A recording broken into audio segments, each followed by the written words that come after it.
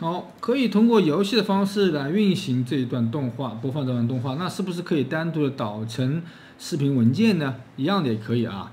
在这个序列编辑器里面有一个这个按钮，将此影片渲染成视频或者图像帧序列。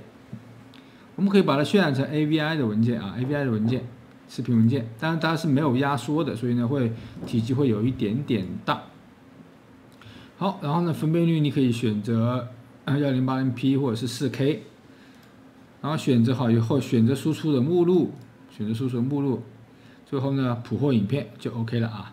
这个地方我们简单的来导出一个表啊，一个低一点的放在桌面上，放在桌面上，然后分辨率稍微低一点，要不然时间会很久。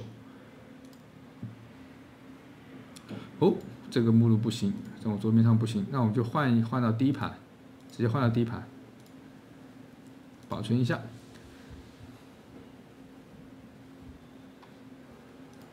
好，它呢正在输出。这个分辨率很低，所以只有这么一点点大啊。